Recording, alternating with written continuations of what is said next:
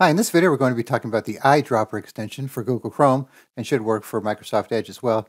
So what this will do is let you find the uh, color code from any uh, color, photo, drawing, whatever you want to find on a web page. That way you could use that code for, you know, use it in Photoshop or Illustrator or any other uh, graphics programs.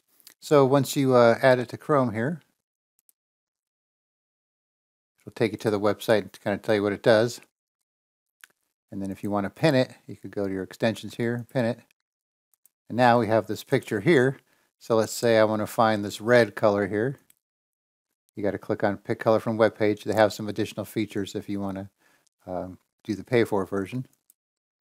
So hold my mouse over where I want it to be. Let's say that.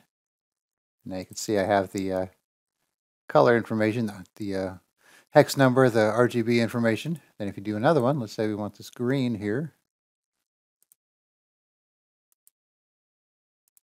Then we'll keep that. And you can just kind of go back and forth and pick between them.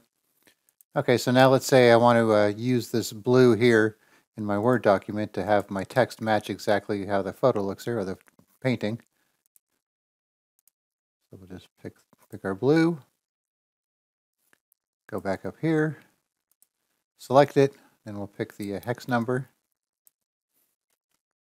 go into Word, highlight our text here, do our color drop down. We'll do more colors, custom, paste it in there, and okay.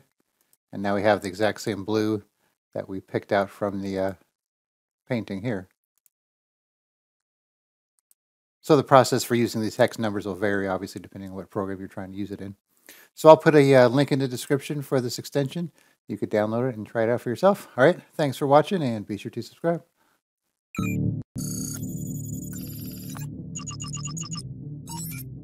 Thank you.